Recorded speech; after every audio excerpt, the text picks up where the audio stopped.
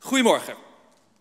We gaan met elkaar lezen Efeze 3, vers 14 tot 15. Ik heb begin januari heb ik met, u, met jullie een boodschap gedeeld uh, over de extreme versnelling waarin God ons wil brengen. En ik ben toen geëindigd met Efeze 3, vers 14 tot 15. En ik wil hem vanaf daar weer oppakken. En daar staat, om deze reden buig ik mijn knieën voor de Vader van onze Heer Jezus Christus naar wie elk geslacht, in het Grieks staat daar familie, natie, volk, dus naar wie elke familie in de hemel en op de aarde genoemd wordt. En we hebben als, als House of Heroes, en als jullie meeluisteren uh, via YouTube, uh, dan geldt het niet alleen maar voor House of Heroes, dit geldt voor elke gemeente. Waar ik nu met jullie over ga praten, is over best een gevoelig onderwerp. En dat is het verschil tussen een kerk als businessmodel of kerk als familie. En, uh, en dat is best een heel groot verschil. Het heeft alles te maken met het perspectief waar we mee ook zijn opgevoed. En ik hoop en ik geloof dat de Heer wil komen met de kracht van zijn Heilige Geest om ons een nieuw perspectief te geven hoe de Vader kijkt naar zijn gemeente, naar zijn kerk. Want alles wat God doet in zijn woord, alles wat Jezus deed op deze aarde en alles wat de Heilige Geest bewerkt in ons hart, heeft te maken met familie. En deze wereld die wacht op familie. Deze wereld die wacht op de zonen en dochters van God. Het eerste gebed wat Jezus leerde aan zijn discipelen was het onze Vader. Alles wat Jezus deed, deed hij vanuit perspectief van we zijn familie. En ik geloof in de hemel is de perfecte familie, de perfecte eenheid tussen Vader, Zoon en Heilige Geest. Amen. Ik heb vorige keer, daar ben ik toen mee geëindigd en dat nogmaals, wil ik nu weer oppakken, is er is een verschil tussen hier, tussen het starten van een kerk en tussen dit stukje, groeien van de familie. Het is heel makkelijk om hier te starten van een kerk en de kerk te zien als een businessmodel. En ik geloof door de geschiedenis heen is de kerk van familie heel veel geworden een businessmodel. Een restaurant, een hotel, een businessmodel, eh, eh, een business uh, model in plaats van een familie. Als je de kerk ziet als een, als een businessmodel, dan kun je je daaraan niet toewijden. Hier bij een businessmodel zeg je als je met dingen niet eens bent of dingen gaan niet zo lekker in een gemeente. Het is gewoon algemeen. Als er in Nederland gewoon dingen niet lekker gaan in een bepaalde gemeente, dat gebeurt wel eens. Hier loop je ervan weg. En hier wijd je eraan toe. In alle seizoenen van het leven. Bij een familie krijgt God alle eer en bij een businessmodel hebben een aantal mensen er alleen maar profijt van. In een businessmodel worden wezen geen volwassen christenen. In een familie worden onvolwassen mensen worden volwassen en worden zonen en dochters van God. En ik ga misschien een aantal dingen zeggen straks die misschien zeer doen. En dat is niet de bedoeling. Maar we hebben een enorm groot risico genomen als House of Heroes om ons een familie te noemen. Dat is een risico. Want wat we niet willen zijn is een businessmodel die zondag bij elkaar komt en die zijn preek houdt waar mensen uh, in aanbidding kunnen komen, waar koffie wordt gedronken en dan gaan we met z'n allen weer naar huis. Dat is niet echt familie zijn. Amen. En, ik, ik, wil het, ik wil het wat scherp zetten deze ochtend. Ik, ik, heb, ik heb de afgelopen maanden ook heel erg eerlijk heb ik met de Heer overlegd van... Heer, wilt u ons ook gewoon feedback geven in hoeverre zijn we met elkaar als familie een gezin van God? En hoe werkt dat nou?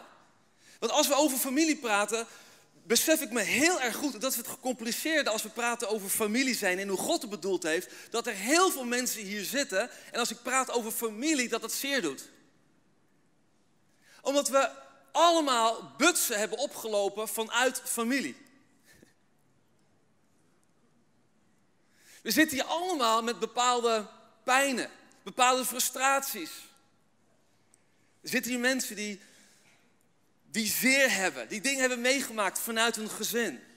We zitten hier bij elkaar en ik geloof dat in elke gemeente is dat er mensen zijn die gebroken huwelijken hebben. Mensen die door scheidingen zijn heen gegaan. Mensen die geen contact meer hebben met kinderen. Dus als ik het heb over familie, dan kan het soms best zeer doen. En, en vanuit dat perspectief wil ik ook met jullie zo het woord openen. Want ik geloof dat God herstel wil brengen in hoe Hij familie ziet. Ik geloof dat God herstel wil brengen hoe Hij de gemeente ziet. En Hij ziet de gemeente als een familie en niet als een businessmodel. Iedereen hier is in staat om een kerk te starten. Maar niet iedereen is in staat om een familie te laten groeien. Dat zijn twee verschillende soorten werelden. In een familie heb je te maken met opofferende liefde.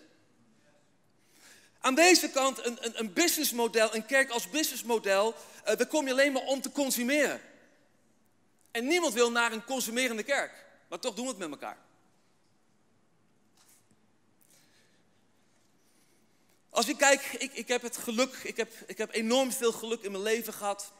Dat ik ben geboren in een, ik ben geboren in een gezonde familie. En daar prijs ik de Heer nog elke dag voor. En ik weet dat dat niet vanzelfsprekend is voor een aantal van ons. Maar, maar ik wil het ook niet onder banken of, of, of, of stoelen schuiven. Ik kom uit een gezonde familie.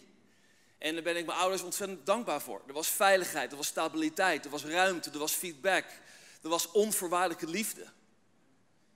Er was ruimte om mijn dromen na te jagen. Ik kan me nog herinneren dat ik 14 jaar was en ik had een droom. Ik zeg, heer, ik wil zo graag naar Australië. En ik deelde mijn droom. En mijn ouders waren af en toe bezorgd.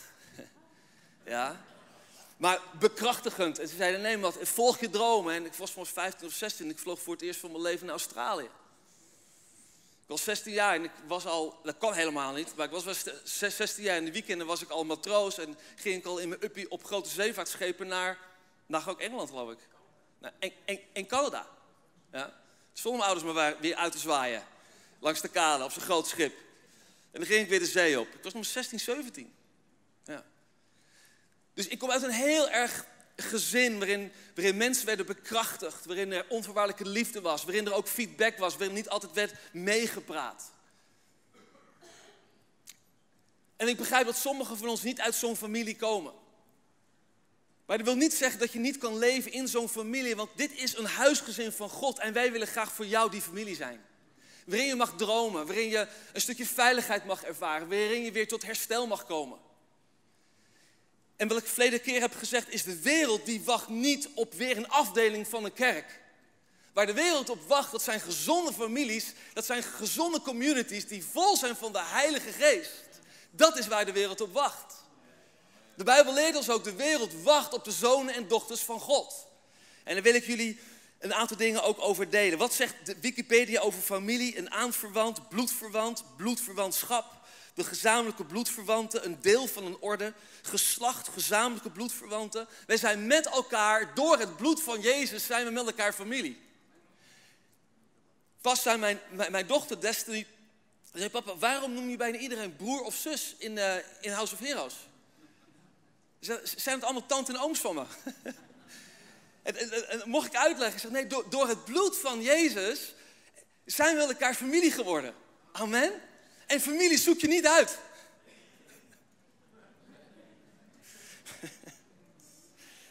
Romeinen 8, vers 14 tot 17. Allen die door de geest van God worden geleid, zijn kinderen van God. Je hebt de geest niet ontvangen om opnieuw als slaaf in angst te leven. Je hebt de geest ontvangen om Gods kinderen te zijn en om Hem te kunnen aanroepen met Abba Vader. Ja, dus ook, ook Paulus heeft het hier over een model wat gaat over familie.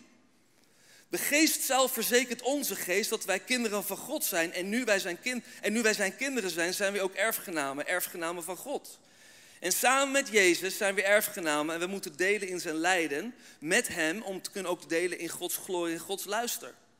En het was jaren geleden, ik praat over 1999 en ik was samen met Riens Hofstede en uh, zijn vrouw die, die toen nog leefde, Maria die was ook een geestelijk moeder voor me. En we waren in Italië aan het skiën. Ik ging zelf door een eh, lastige periode. Ik kwam net terug uit de oorlog in Kosovo. Ik had met deze twee jonge ogen heel veel dood en verderf gezien. Ook opwekking en transformatie. En ik had een tijd van rust nodig. En um, ik was moe, ik was uitgeput. En ik stond er op die berg. En ik viel keihard in de sneeuw. Ik had een bloedneus. En ik begon te huilen en te lachen. En ik, ik kreeg daar een aanraking van God. En we gingen s'avonds gingen we erover doorpraten. En Maria die stelde me de vraag van wat zegt God nou over jou? En ik heb toen een groot hart gemaakt. En toen kwam ik eigenlijk niet op heel veel teksten wat God over mij zei. En daar schrok ik van. Ik zei, Heer, wat zegt u over mij? En ik kwam daar niet zo goed uit. 1999. En, en ik ervaar dat er nog zoveel wees in mij was. Ik ervaar dat er nog zoveel gebieden in mijn leven waren die onvolwassen waren. Een, een, een, een, hyperactiviteit om mezelf maar te moeten bewijzen. En, en, en Maria, een fantastische vrouw van God, en, en Riens, die zei... Jongens, weet je wat, we gaan naar Toronto. En uh, we kwamen zondag uit Italië terug en maandag zaten we al in het vliegtuig op weg naar Toronto. En daar was een vaderhartconferentie met Jack Frost en Jack Winter. Hoe kruist voor elkaar. Uh, ja, echt waar. Jack Frost en Jack Winter. En, en, en, daar hebben we die hele midweek hebben we onderwijs gekregen, een importatie over het vaderhart van God. En daar werden delen in mijn leven werden aangeraakt. Heel veel wist ik met mijn verstand, maar, maar ervoer ik niet met mijn hart dat ik een geliefde zoon van God was. En daar heb ik toen een aantal dingen in opgeschreven. En, uh, en die wil ik gewoon met jullie delen. Als het gaat over wat zijn nou de kenmerken van, van een wees, van een slaaf, van, van, van een onvolwassenheid. En het heeft alles te maken met familie, daar kom ik zo op. Ik heb gewoon een aantal dingen opgeschreven die die week werden gedeeld. Schaamte met als resultaat jezelf verstoppen. Dit zijn kenmerken van mensen die, die nog wees zijn, die nog in bepaalde gebieden onvolwassen zijn. Die zoekt erbij te horen, die wil geaccepteerd worden en die, die vermijdt verlaten te worden. Wezen die willen onafhankelijk zijn. Hij of zij is vooral aangewezen op zichzelf om behoeftes te vervullen. Die hebben moeite om anderen te vertrouwen. Een grote behoefte aan liefde en bevestiging. Die zoekt troost in eten, in drugs, in alcohol, in werk, in druk bezig zijn, in seks, in hyperreligieuze activiteiten. Die mist een basisvertrouwen en veiligheid om nee te zeggen. Die wil gezien worden. Presenteert een beeld van zichzelf dat voldoet aan de verwachtingen van anderen. Zal vaak overdreven presenteren in projecten of helemaal geen motivatie hebben om falen te vermijden. Wezen zijn vaak geïsoleerd van ware eigen gevoelens en verlangens. Die houden ook afstand ten aanzien van mensen. En relaties zijn vaak oppervlakkig. Ze voelen zich eenzaam. Of ze voelen zich geïsoleerd. Ze identificeren zichzelf met presentaties en, en interpersoonlijke relaties. Er is continu een conflict. En de meeste vreugde halen ze eigen succes en vooruitgang. Ze zijn zelfgericht. Ze steken de meeste tijd in hun eigen missie. Ze leven in angst, frustratie, maken zich veel zorgen. Dat vindt plaats in. In weesgedrag. En allemaal kunnen we ons misschien een beetje identificeren met een weesgedrag. En, en, en de Heer wil ons niet meer als wees hebben, maar Hij wil ons maken tot zoon en dochters van God. En mijn overtuiging is dit, en daar ga ik zo heel krachtig over spreken, is dat het alleen maar plaats kan vinden in een familie. De groei naar volwassenheid zal plaatsvinden uiteindelijk in een familie. Wat zijn kenmerken van de zoon en dochters van God? Ze kunnen zich kwetsbaar opstellen, ze durven zichzelf te vernederen en fouten toe te geven. En ze hebben ook een veilige plek om kwetsbaar te zijn. Ze beseffen dat persoonlijke waarde niet ligt in bezit, talent, reputatie, applaus en lof, maar in het geliefd zijn door God. Ze weten dat hij of zij afhankelijk is van God en stelt die relatie centraal in zijn leven. Ze laten zich leiden door de Heilige Geest. Ze weten in de kern dat hij geliefd is en goedgekeurd is door God. Hij ontvangt de liefde van God en geeft het door. Er is geen behoefte aan continu goedkeuring van mensen. Zoek de aanwezigheid van God. Ontmoet hem in zijn dagelijks leven en heeft discipline op geregelde tijdstippen tijd met hem door te brengen. Hebben we afgelopen weekend geleerd in de gebedsconferentie. Leeft in geloof, dankbaarheid en hoop.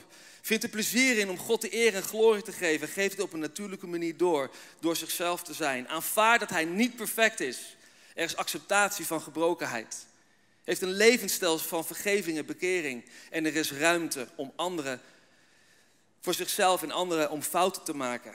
Hij definieert zichzelf radicaal als de geliefde van God. Hij kan genieten van successen van anderen en hij is op anderen gericht. En zo, zo kan ik doorgaan. Wie wil een zoon en dochter van God zijn? Amen.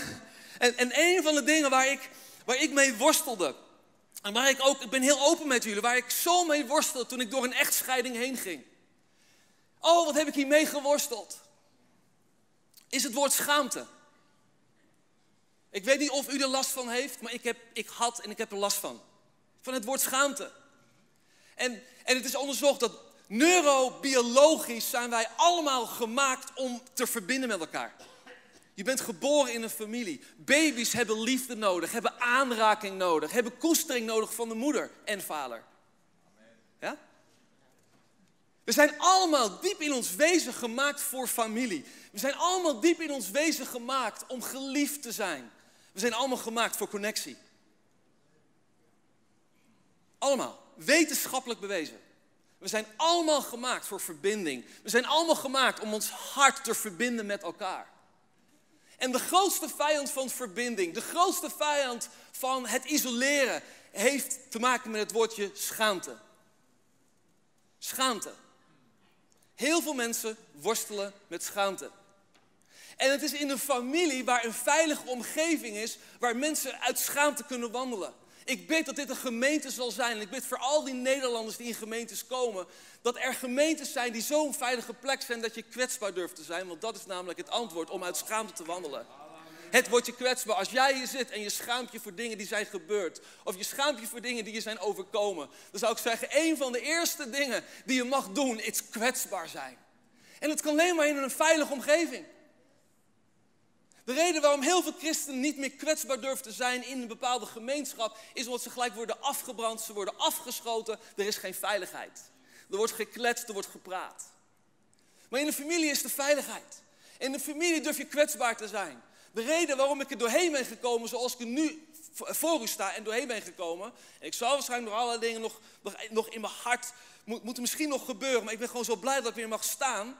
Het heeft te maken dat ik door kwetsbaarheid heen mag gaan. Ik mocht kwetsbaar zijn. Ik mocht kwetsbaar zijn in de oudste raad. Ik mocht kwetsbaar zijn bij mijn vrienden. Ik mocht kwetsbaar zijn bij Heidi en Bill Johnson. Ik mocht kwetsbaar zijn in de oudste raad en hier bij jullie in de gemeente. Jullie hebben mij geholpen om te wandelen uit die schaamte. En daar wil ik jullie voor bedanken. Ja, dit is voor mij een hele veilige plek.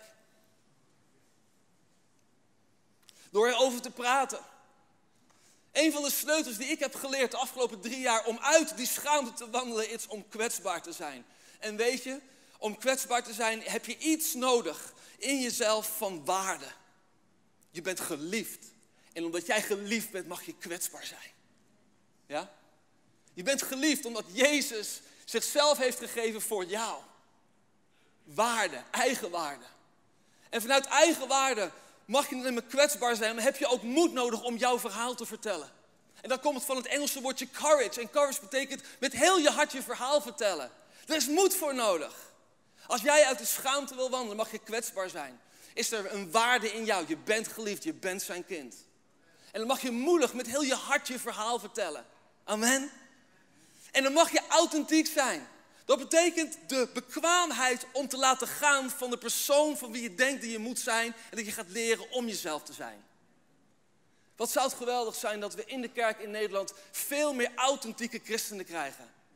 Die laten gaan van de persoon die andere mensen zeggen dat ze moeten zijn, maar zichzelf kunnen zijn. Dat is waar de wereld behoefte aan heeft. Gewoon een aantal dingen die ik net opnoem. Die vinden allemaal plaats in een familie. Die vinden allemaal plaats in een geestelijk huis. En stel dat je hier zit en je zegt, maar Matthäus, die veiligheid had ik niet in mijn, in mijn familie vroeger. Dan wil ik je ontzettend zeggen tegen jou, dit is een plek en er zijn veel meer andere plekken in dit land. De gemeente van God zou een plek moeten zijn waarin alles wat je in het verleden hebt meegemaakt, dat, dat daar herstel in komt. En dat je gaat ervaren dat dit een geestelijke familie is voor jou. Waarin je weer mag leren volwassen te worden. Waarin je het weesgedrag af mag leggen. Waarin je kwetsbaar durft te zijn. Amen. En dit zijn processen in de kerk. Ik heb een aantal dingen opgeschreven. Ehm, ik, praat ook wel eens met, met mensen, ook na de samenkomsten, voor de samenkomsten. Dit, dit zijn eigenlijk een klein rijtje wat je dan hoort van mensen over deel zijn van de gemeente. Vaak hoor je mensen zeggen, ik heb hun kerk bezocht. Dat is nog steeds geen verbinding. De volgende stap is, ik, hey, ja, ik ga naar die kerk. Ja? Dan ben je nog steeds niet echt geconnect.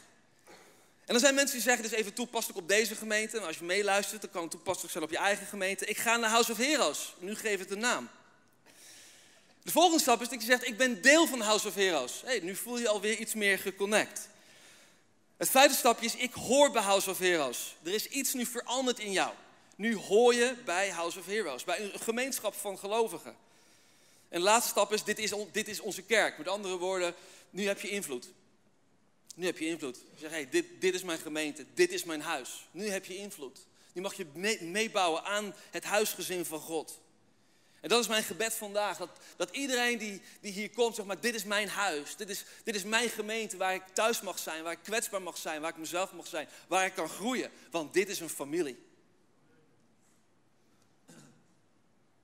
Want we zeggen niet al wat in onze slogan. House of Heroes, waar is die poster? Hier. A family where heroes are born. Daar hebben we nog, hebben we nog aan toegevoegd. Equipped and trained. Bekrachtigd en vrijgezet. We zijn een familie met elkaar. Maar in hoeverre zijn we een familie met elkaar? Dat is even de vraag die ik met jullie gewoon deze ochtend, deze middag intussen wil delen. Misschien kunnen we eens even over nadenken. Want we applaudisseren allemaal, dat merkte ik drie weken geleden, dat was echt geweldig. Toen ik zei van, er is een groot verschil tussen het starten van de kerk en, en, en, en het groeien van een familie. Hier is zelfopofferende liefde en hier ga je weg als je het niet mee eens bent of je vindt het toch maar niks. Iedereen applaudisseerde. Ja, geweldig. Ja, we zijn een familie, we zijn een familie. Ja, ja hartstikke goed. Ah, amen. Maar, ik dacht zelf van, heer, maar, maar wat, wat betekent het nou voor elkaar om samen familie te zijn? Want we komen, we, komen, we komen allemaal uit een bepaalde achtergrond, hoe we de kerk zien. Ik ben niet opgegroeid, ondanks dat mijn eigen vader ook ik voorganger was, maar het was toen niet in die tijd. We gingen naar de kerk en zondag deed je daar je dingetje. Ik heb vanuit mijn verleden de kerk nooit specifiek gezien als een, als een familie waar je echt van alles kan delen. Ik zag meer de kerk van, nou, je gaat zondag naar de kerk, je doet jij je dingetje, je geeft daar je geld en je gaat, je gaat weer terug naar huis. Wat is jouw perspectief op gemeente zijn? Hoe ben jij opgegroeid? Ik, ik geloof dat, we, dat, dat God in een deel van het lichaam van Christus, in dit seizoen waar we nu zitten, dat hij met zijn heilige geest met een zaklamp op de kerk wil schijnen op het onderwerp van in hoeverre zijn we familie van elkaar? Of, zijn we nog, of hebben we nog steeds het perspectief van het businessmodel van kerk zijn? En mag ik daar de komende 20 minuten met u over hebben? Wat houdt het nou in als we zeggen, in dit geval House of Heroes is mijn gemeente, is, is mijn kerk, is de gemeenschap waar ik naartoe ga. Wat houdt dat, wat houdt dat in? In, in, in hoeverre zijn we familie van elkaar?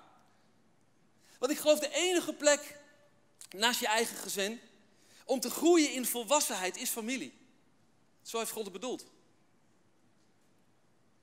Daarom zond hij de discipelen twee aan twee. Daarom waren de discipelen met z'n zeventigen bij elkaar om erop uit te worden gestuurd. Daarom kwamen ze dagelijks bij elkaar in de huizen. Er was familie.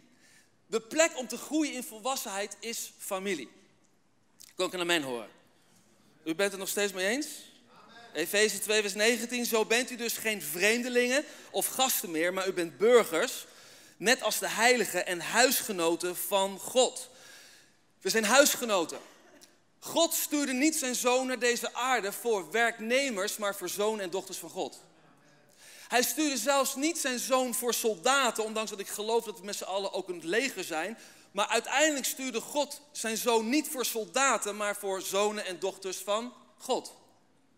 Dus ik geloof met alles wat in mij is dat God ons perspectief op de kerk wil veranderen. En dat is een cultuursverandering. Dat kost tijd om aan het nieuwe idee te wennen dat de kerk een familie is in plaats van een, een plaats waar je één keer per week op zondag naartoe gaat. En beide zijn prima. Dat wil ik ook hier zeggen. Beide zijn prima. Die keuze kan ik niet voor u maken. Daarom hoop ik ook dat de Heilige Geest u overtuigt dat kerk zijn familie is. Ik kan dat, dat kan nooit vanaf het podium op mensen opgelegd worden. Dat moet je, dan moet je innerlijk overtuigd worden door de Heilige Geest. Amen. We zien de kerk op een bepaalde manier, omdat we de kerk al heel lang op een bepaalde manier gezien hebben. En op het moment dat we een, bepaald perspectief hebben op de kerk, zo behandelen we de kerk ook. En dat niet alleen, dat heeft ook te maken met het stukje toewijding als we de kerk maar op een bepaalde manier zien. Als je de kerk ziet als een familie, dan ga je heel anders om met een gemeenschap als dat je kerk ziet gewoon als een zakelijk model, waar je één keer in de zondag naartoe gaat. Dat zijn twee verschillende werelden. En als we over familie praten, is er vaak verwarring. En waarom is er verwarring? Omdat we niet helemaal weten hoe we de kerk nou moeten zien. Is het nou een businessmodel of is het nou een familie? Hoe zit dat nou? En daarom zeg ik, we hebben een groot risico genomen door onszelf te noemen... Uh, a family where heroes are born. We zijn een familie met elkaar. Maar wat houdt het dan precies in?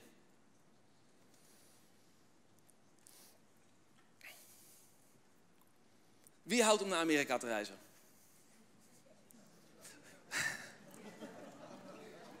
Niet nu. Want het is veel te koud daar. Bepaalde delen. Maar, maar een van de dingen. Ik, ik, ik hou van Amerika omdat het allemaal groot is. Amen. I love big. Everything is huge. Love it. Love it daar. Geen droom is, is, is, is de grote. Ah, het is fantastisch als je daar al binnenkomt. De cola's, daar zetten wij onze fase in. Of onze bloem in. Ja. Ontzettend ongezond, maar het is te gek. Naar McDonald's gaan is daar te gek. Daar ga ik wel naar de gele M. Gewoon om die gigantisch grote bekers te aanschouwen. Daar zetten wij echt eh, wel, wel drie bossen rozen in. Zo groot zijn die dingen. En, en is ook nog refill. Geweldig. Het smaakt naar bagger. Het is allemaal chloor en allemaal vies. Maar het is gewoon te gek om het allemaal te zien. Alles is daar groot. Jongen, die supermarkten ook. Het is fantastisch. En als je daar naar een restaurant gaat, mensen. Oh, dit is zo leuk. Je voelt je koning daar. Ze zijn zo aardig. En, en ze zijn zo ontzettend lief. Maar ik heb ook wel eens een, eh, een, een, eh, een situatie meegemaakt dat we daar aan het eten waren. En uh, heerlijk eten. En die, en die bediende was zo ontzettend lief, maar ik vergat een, een, een tip te geven. En toen waren ze niet, waren ze niet zo lief. Ja?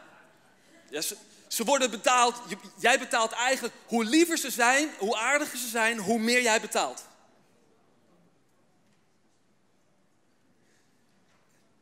Een, een enorme gastvrijheid. En, en, als je wel eens in Nederland of in Frankrijk, vooral in Frankrijk, I, love, I love Frankrijk, maar ze, verstaan niet heel vaak Engels daar. Ik, ik hou van Frankrijk of België, of, maar, maar, maar als je, of niet, ik kan niet zo goed Frans, alleen maar je t'aime en au revoir. Um, maar als je in Europa naar een restaurant gaat, en zeker soms in Nederland, lieve mensen, soms voel ik me te veel. Verleden maand was ik in een restaurant en nou, ze keken me gewoon vies aan dat ik, in de, in dat, dat ik eten bestelde. Ze hadden er geen zin in, geloof ik. Ja? Maar gastvrijheid is zo belangrijk, ja toch? Ja?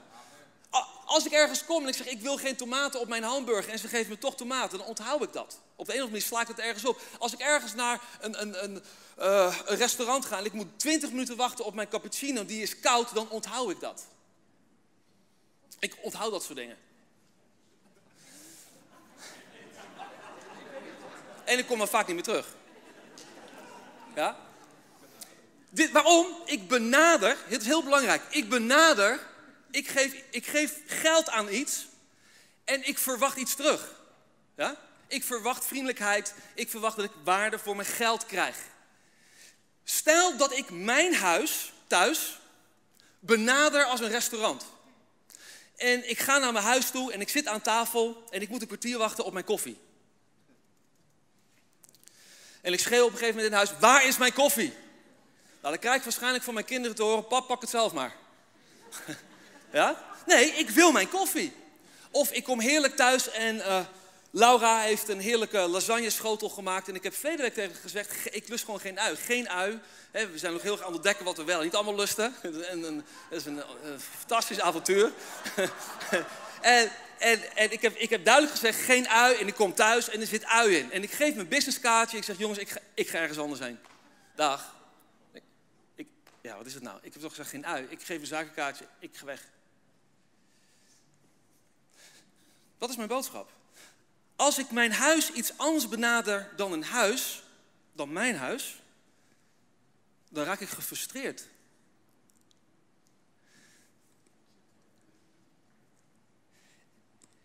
En misschien is die vergelijking een beetje pijnlijk. En ik, ik wil dat toepassen op eigenlijk de algemene zin van het woord, gewoon in de, in in de gemeentes algemeen. Maar vaak benaderen we wel zo de gemeente. Je geeft je tiende, je doet dat in de collecte. En je verwacht natuurlijk de vriendelijke mensen die, bij, die bij, bij de deur staan. Er wordt van ons als leiderschap verwacht dat we ook vriendelijk zijn. En u krijgt ook een glimlach van ons. Het zijn hele vriendelijke mensen die daar bij de deur staan.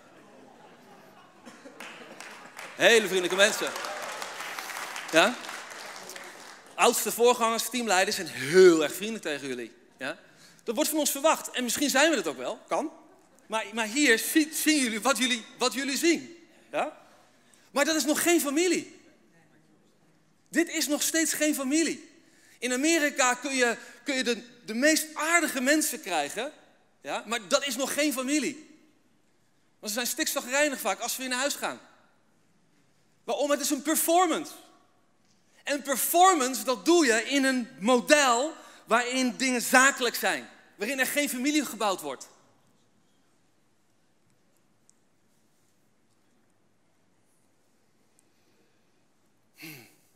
Want we zijn beland in zo'n consumerende cultuur. Het enige wat we vaak doen is consumeren, consumeren, consumeren. En als we zo de kerk ook zien als een consumerende zaak, dan hebben we met elkaar een probleem. Dan bouwen we geen familie. Dan is alleen maar consumeren. De reden waarom ik vaak praat over Sinterklaas, de reden waarom ik vaak praat over kerst, de reden waarom ik vaak praat over oud en nieuw en de feestjes die we hebben, is puur omdat ik heel graag vanaf dit podium een bepaalde cultuur wil vertellen aan jullie. Dat doe ik door het te herhalen en ik doe dat altijd met een reden. En we lachen erom en het is ook soms ja, grappig of niet grappig, dat laat ik er nu over. Maar, maar voor mij zijn die feesten zo ontzettend belangrijk. En daar kunnen we allemaal onze ideeën over hebben. Maar het feit waarom het zo belangrijk is, is we zijn bij elkaar. Met Sinterklaas hebben we muziek op. Hij komt, hij komt. En ik zit op het puntje van mijn stoel, want hij komt. Ja? En, en, en oma, van de, oma, oma, u bent er weer, u, bent er altijd nog bij. Prijs de Heer. Andere oma's in de hemel, maar u bent er altijd bij. En, en mijn ouders zijn er altijd bij. En, en Job en Vief zijn er altijd bij. Mijn familie is er altijd bij. En dan, en, dan zitten we rondom uh, een, een, een, grote ja, zak, twee, drie, vier, vijf zakken vol met cadeautjes. Allemaal kleinigheden die we voor elkaar kopen. En hebben we gedichten voor elkaar. En dan lezen we dingen. En dan, en dan is er plezier en is er eenheid en is er familie. Met kerst, eerste kerstdag. Wat een ongelofelijke tijd samen. Bij Job en Vief thuis. Tafels waren gedekt. En Vief had voor ons allemaal een persoonlijk woord. Een aantal mensen zaten te huilen aan tafel. De kinderen waren stil en geëmotioneerd. Waarom? We zijn familie.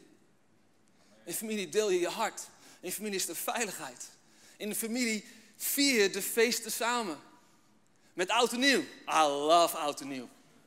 I love it. Waarom hou ik ervan? Omdat het zo gaaf is om samen met elkaar het oude jaar af te sluiten en het nieuwe jaar te gaan beginnen. Dat niet alleen, we zijn familie. Soms doen we het klein. Afgelopen jaar hebben we wat kleiner gedaan. Ja, de voorstok met 50, 60 man in mijn huis. I love it. Waar sta ik bekend om? Oliebollen bakken. Ik bak oliebollen. En mensen, het zijn de lekkerste eh, oliebollen van House of Heroes. Nee, het zijn de lekkerste oliebollen van Nederland. Sterker nog, ze zijn lekker. Ja? Maar ik sta, ik sta met, op oudejaarsdag sta ik gewoon heel die middag sta ik oliebollen te bakken. Ik ruik, ik ben vet, mijn haren die druipen van de vet. Ja, ik ga verse gist halen. Waarom? Omdat mijn oma is mijn rolmodel. Wij als vaders en moeders in een gezin zijn rolmodellen. Open oma's zijn rolmodellen. En mijn oma heeft altijd oliebollen vroeger gebakken. Dit is haar geheime recept. En ik heb hem. ik geef dat door hoe wij leven op deze aarde als vaders en moeders, ja, daar kijken kinderen naar. En ik heb tegen oma gezegd, ik, ik, ga, ik ga u oliebollen bakken. Nu kan ze het gewoon niet meer, die oliebollen bakken. Nou mag ik die traditie voortzetten. Ik ga oliebollen bakken. Hè? Maar René en Paulina, die brengen altijd hun favoriete toetje. Jullie favoriete toetje. Love it. Ja? En zo hebben we allemaal ons aandeel. Weet je wat leuk is? Als het in mijn huis is, zorg ik ervoor dat het gezellig is. En dan zitten ze s'avonds zitten ze al die oliebollen te eten. Soms doe ik er rennies gelijk bij. Ik bak er gelijk rennies bij. Ja, daarom krijgt niemand van onze oliebollen krijgt maagzuur. Oliebollen met, met rennies, gebakken en wel. En dan zitten ze die oliebollen te bakken. En dan zeggen ze, god, wat een... Wow, weet je wel, dit, dit, dit is een lekkere oliebol. En volgend jaar weer... Maar ik ben nog nooit bedankt. ik ben nog nooit bedankt. En dat hoeft ook helemaal niet. Weet je, ik ben tot deze conclusie gekomen. In een familiemodel doe je dingen waarvoor je helemaal niet geroepen bent. Ik ben niet geroepen om oliebollen te bakken. Ik heb nog nooit een profetie gekregen over oliebollen bakken. Nog nooit. Het staat nergens in mijn rol en functieomschrijving als voorganger oliebollen bakken. Het staat er niet in. Waarom doe ik het? Waarom is het zo heerlijk om de hele club over te hebben? En je weet gewoon, als het 12 uur is of 1 uur is of half drie, met elkaar ruimen we ook mijn huis op. Is het ook weer schoon? Ik hoef het niet aan te geven. Het gebeurt gewoon. Waarom? Omdat je in een familiesetting doe je dingen die je normaal niet doet als het buiten een familie is. Als jij naar een restaurant gaat, als jij naar een hotel gaat, als jij ergens koffie gaat drinken en de, degene die jou bedient zou jou vragen: hey, die persoon die heeft straks een gegilde zalm, zou je dat even voor me willen maken? Nou, moest kijken wat dan reactie is. Ja, daar, daar heb ik geen zin in. Ik ben niet gekomen, ik betaal iets en ik ben niet gekomen om iets te ontvangen. Je pakt je menukaart eruit, dit is wat ik wil. Worship, dit is wat ik wil. Een preek en dit is wat ik wil. Ministry, en daar geef ik geld voor.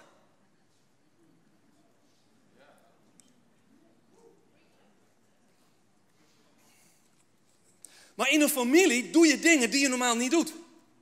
Ik vind het helemaal niet leuk om vieze onderbroeken te wassen. Maar ik doe ze wel. Ik vind het helemaal niet leuk om. Eigenlijk, het is helemaal niet waar. Ik, ik doe het niet meer mopperend, laat ik het daar maar ophouden. Ja, ik stofzuig. Ja, waarom? Dat hoort erbij. In een familie doe je dingen die je normaal niet doet als je dingen benadert als een businessmodel. Daar neem je je verantwoordelijkheid.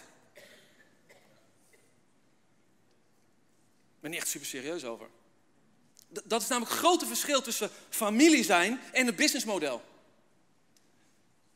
Stel er wordt, dat zal niet in deze gemeente gebeuren, maar stel er wordt een oproep gedaan voor opbouw en afbouw. En er komt maar één iemand naar voren. Dat is voor mij een teken. We dat, dat is een gemeente, is gebaseerd ook wel een beetje op een businessmodel.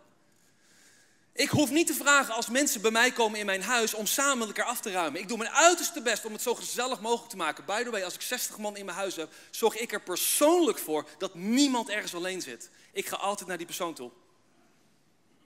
Maar met elkaar maken we het gezellig. Met elkaar nemen we dingen mee. Met elkaar ruimen we de troep op. Waarom? We zijn familie. Je doet dingen in een familie die je normaal niet doet.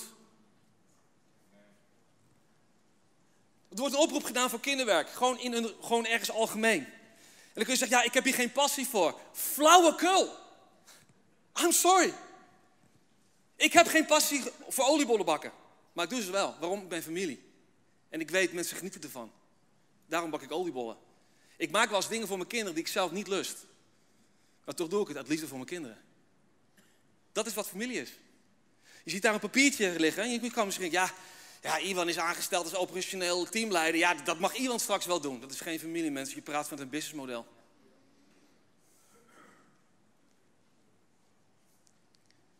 Familie is opofferende liefde. In een familie hoef je geen oproepen meer te doen dat iemand de koffie inschenkt. Want dat doe je gewoon met elkaar. Dat is familie zijn. Opofferende liefde. U bent er nog steeds bij. Want als we de kerk gaan benaderen als familie, dan wordt je perspectief anders. Ik heb opgeschreven, in een familie word je volwassen. De enige plek, dat is mijn overtuiging, de enige plek waar je volwassen wordt is in een gezin, is in een familie, is in een geestelijk huis. Daarom zegt God ook, ik wil dat je naar een gemeente gaat. Dat geloof ik met heel mijn hart. Efeze 4, vers 11 tot 15. En hij is het die apostelen heeft aangesteld en profeten, evangelieverkondigers, herders en leraars. Nu kun je denken, oh dit is een businessmodel, wat Paulus hier beschrijft. Nee, Paulus praat vanuit familie. Om de heiligen toe te rusten voor het werk in zijn dienst. Zo wordt het lichaam van Christus opgebouwd, tot wij alle samen door ons geloof en door onze kennis van de Zoon van God een eenheid vormen. De eenheid van de volmaakte mens van de tot volle wasdom gekomen volheid van Jezus. En dan zijn we geen onmondige kinderen meer die stuurloos ronddobberen en met elke wind meewaaien.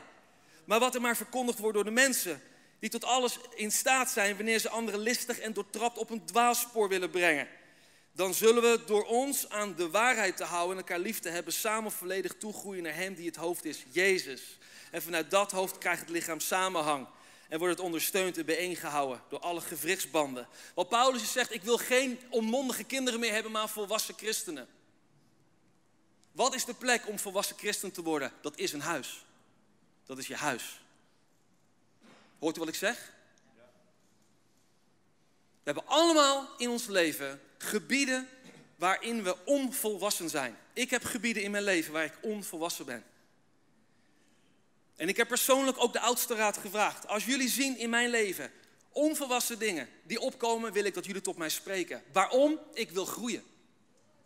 Ik wil groeien. Moest voorstellen dat mijn zoon Justice, die is nu tien jaar, dat hij stopt met groeien. Wat zou er gebeuren? Ik zou me ernstig zorgen maken. Mijn ouders zouden zich ernstig zorgen maken. De moeder van Justice die zou zich ernstig zorgen maken. We zouden met elkaar als eerste naar een dokter gaan. Waarom? We maken ons ernstig zorgen en we willen de beste specialist. Want mijn zoon van 10 jaar is gestopt met groeien. Wat zou het gebeuren als wij in een gemeente, gewoon het algemeen, een cultuur krijgen van: hé, hey, hoe is het met jouw geloofsleven? Ik zie dat je gestopt met groeien. Niet uit veroordeling, maar ik wil dat jij gaat groeien. Waarom ben je twintig jaar geleden gestopt met groeien in de Heer? Hoe zit het met je dagelijks gebedsleven? Niet om jou te veroordelen, maar ik wil jou helpen groeien. Mijn doel als vader is dat mijn kinderen straks opgroeien, nu al, in volwassenheid op alle gebieden. Zodat ze volwassen vaders en moeders worden die ook weer gezonde kinderen voortbrengen. Dat is de cyclus van het leven. Hoe is het met jouw gebedsleven? Hey, ik sprak verleden week daar met jou bij de koffie en ik kwam een bepaalde taal uit je mond, ben ik van geschrokken. Man, kan ik je ergens mee helpen? Ik wil dat je groeit. Dat is ons doel. Hier op deze aarde. Volwassen christenen voortbrengen.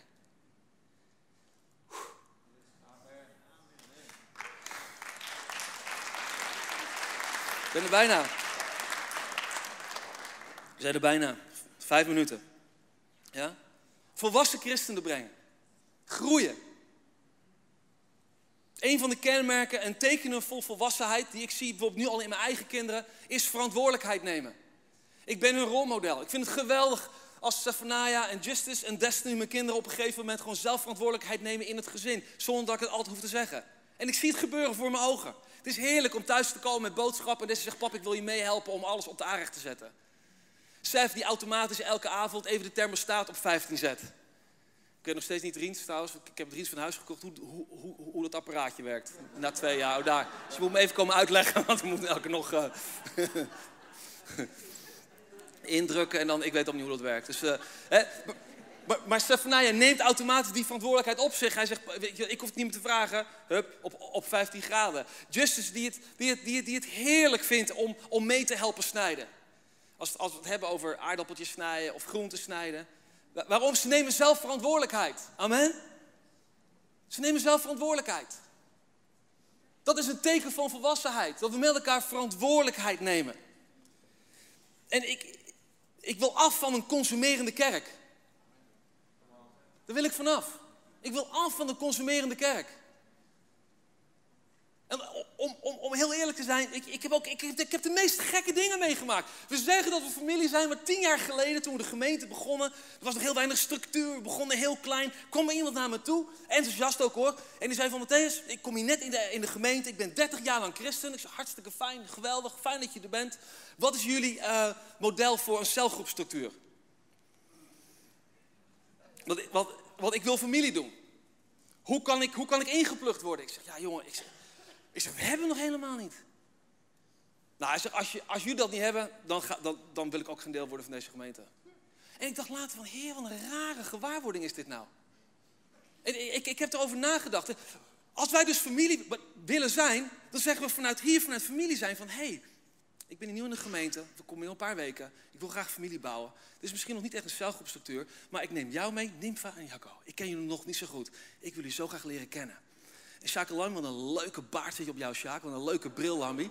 Wow, ik wil, ik, ik wil jou beter leren kennen. hey, en Riens en Petra, ik wil jullie... Leuk, leuke mensen, ik wil bij jullie koffie drinken. En, en je verzamelt 8, 9, 10, 20 mensen in je huis. Je gaat koffie drinken. Dat is familie zijn. Ja. Maar dat gebeurt hier. Ja? Onlangs nog kwam iemand naar mij toe en zei: Joh, Mat, ik heb iemand uit de straat tot Jezus gebracht. Die, die, die man die gelooft al tien jaar in de Heer Jezus. Allemaal fantastisch. Waar, waar is jullie nieuw believersklas? Dus ik ben zo gefrustreerd, dat is hier nog steeds niet. Ik zeg: Weet je waar je nieuwe believersklas is, jongen? Ik zeg: In je huis, in je huiskamer. Hij keek me aan, jongen. Keek. Ik zeg: En jij bent de leider.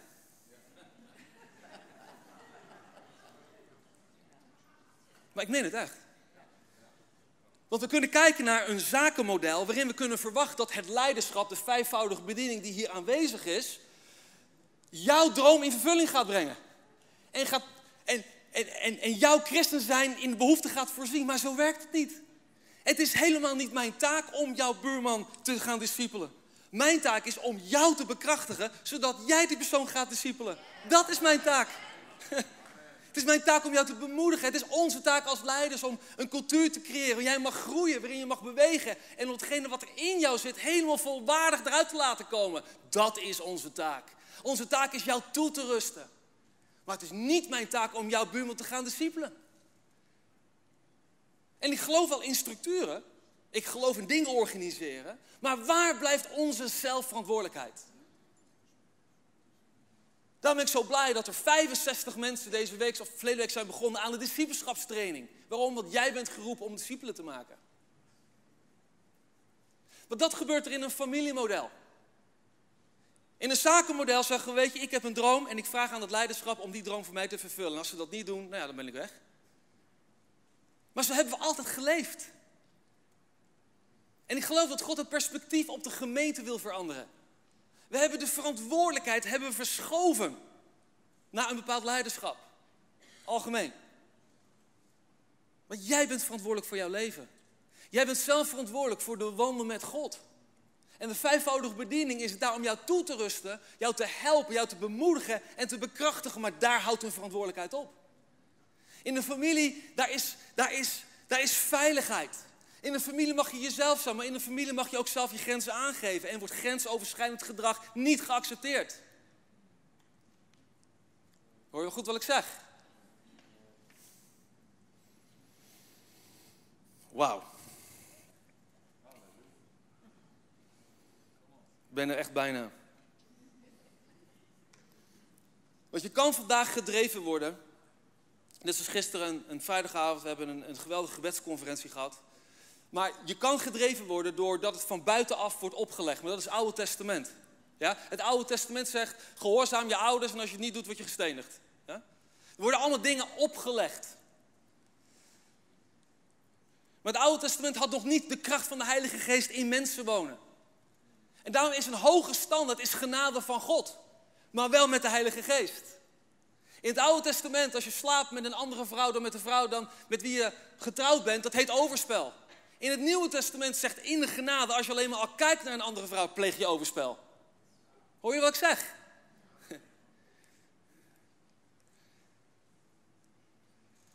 Vanuit het Oude Testament werden mensen extern gedreven. Vanuit het Nieuwe Testament werden mensen intern gedreven.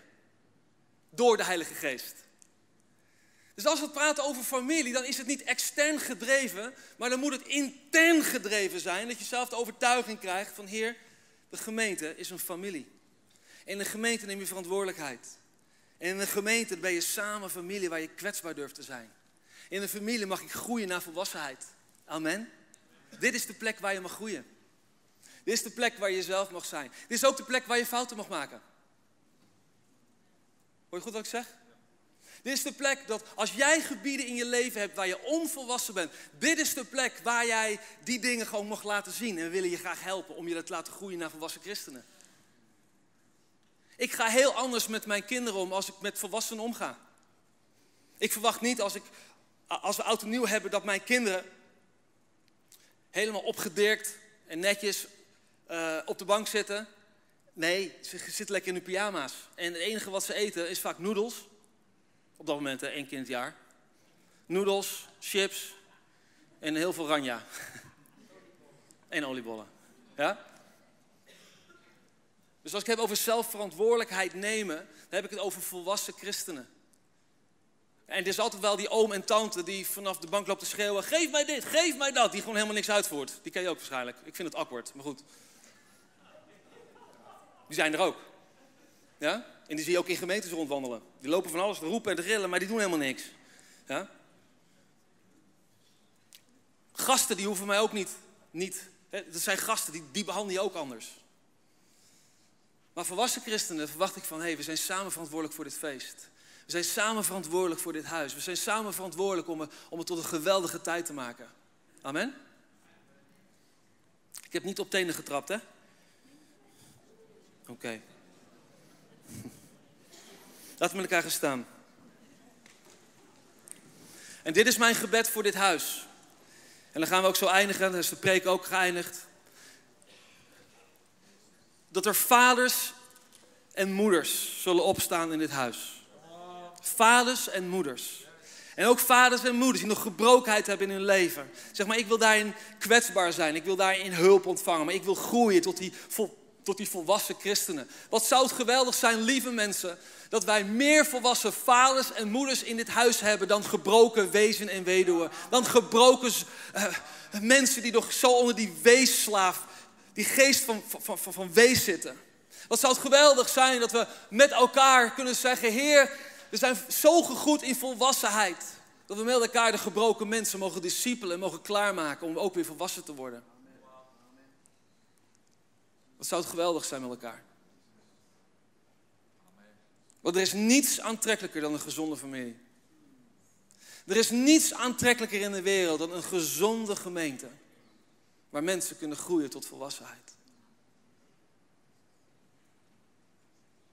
En Heer, dat bid ik op dit moment over deze gemeente en over elke gemeente in Nederland uit. Heer, dat we gemeente gaan zien als familie. Dat we kerk gaan zien als een beweging van familieleden waar we deel van zijn. Als we horen dat er iemand in het ziekenhuis ligt, dan zegt het businessmodel, oh, dus zullen we één of twee mensen vrijgezet hebben om een bezoekje te brengen. Met het familiemodel nemen we verantwoordelijkheid. Dan zeggen we, Heer, ik ga voor die persoon bidden. Heer, ik neem tijd om er naartoe te gaan. Het is mijn broer mijn zus die deel uitmaakt van mijn gezin, van mijn familie. Zo Heilige Geest, ik bid u op dit moment dat u ons intern wil overtuigen wat het inhoudt om familie te zijn. Dat we onze verantwoordelijkheden nemen in het huis. En je mag met me mee proclameren. God is groter dan ieder persoon die me pijn kan doen. Ik laat pijn niet mijn leven stelen. Ik wil opnieuw lief hebben. Ik wil opnieuw vertrouwen. Ik wil kwetsbaar zijn. Ik wil authentiek zijn. Ik laat schaamte mij niet meer in een gevangenis houden. Ik wil niet meer in een ijskasteel leven. Ik ben geboren om te leven in verbond. Ik ben geboren om deel te zijn van een gemeenschap. Ik ben deel van de familie van God. En neem mijn verantwoordelijkheid hierin. In Jezus' naam. Amen.